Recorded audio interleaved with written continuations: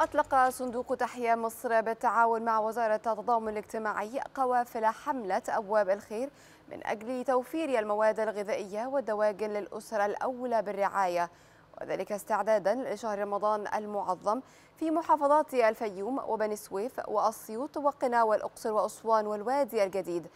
للمزيد من المتابعة مشاهدينا ينضم إلينا مراسل إكسترا نيوز محمد بهاء. أرحب بك محمد وإليك الكلمة تفضل.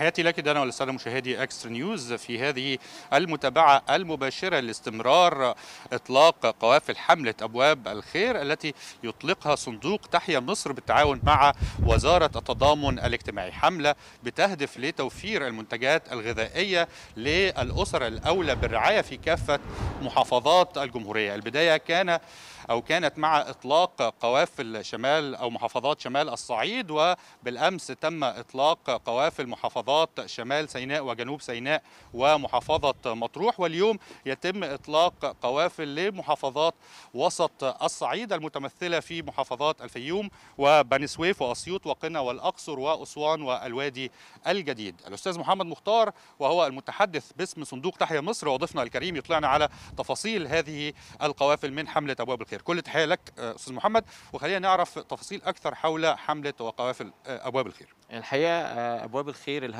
منها إن إحنا نوحد كل جهود منظمات المجتمع المدني بالتعاون مع صندوق تحيا مصر وبدعم وزارة التضامن الاجتماعي للوصول لأكبر عدد من الأسر المستحقة بتوفير استعدادات رمضان من المواد الغذائية الجافة بالإضافة للبروتينات من الدواجن واللحوم.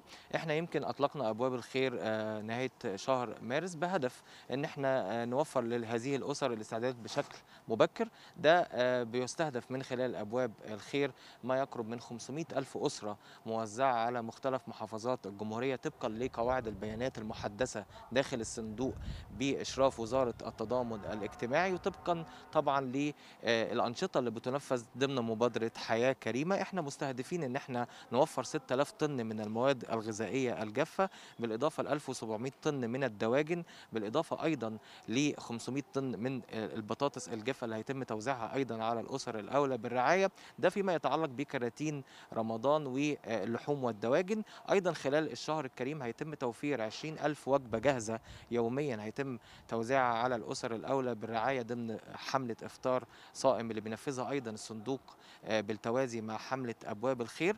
إحنا موجودين النهارده في نقطة لإطلاق القوافل لوسط وجنوب الصعيد. كمان في نقاط أخرى علشان نقدر نضمن سرعة إطلاق هذه القوافل سواء في منطقة الهايك ستيب أو في السويس علشان نقدر إن إحنا نوصل لكل الأسر الأولى بالرعاية يمكن يكون رمضان النهارده يعني صباح إن شاء الله غدا بإذن الله صباح غدا فيكون كل الاستعدادات موجودة على الأسر المستهدفة من خلال صندوق تحيا مصر. ملفات أخرى يا فندم ومبادرات عديدة بيعمل عليها صندوق تحيا مصر لمساعدة الأسر الأولى بالرعاية وفي المناطق الأكثر احتياجا. خلينا نطمن من حضرتك على هذه المبادرات ومدى استمراريتها خاصة في شهر رمضان وبعد شهر رمضان من عيد الفطر المبارك.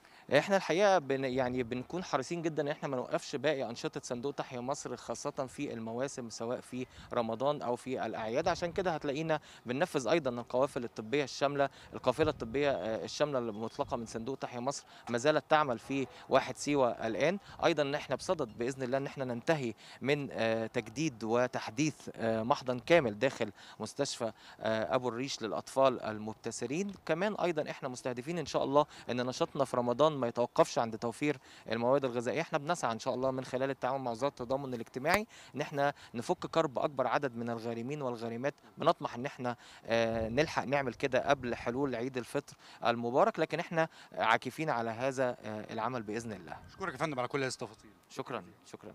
أستاذ محمد مختار المتحدث باسم الصندوق تحيا مصر كان ضيفنا الكريم. طلعنا على تفاصيل هذه القوافل من حملة أبواب الخير المتجهة اليوم إلى محافظات وسط الصعيد. نعم ده أشكرك زميلي محمد بهاء على كل هذا الرصد وكل تلك المعلومات والتفاصيل والشكر أيضا موصول للأستاذ محمد مختار والمتحدث باسم هذا الصندوق. شكرا جزيلا لكما.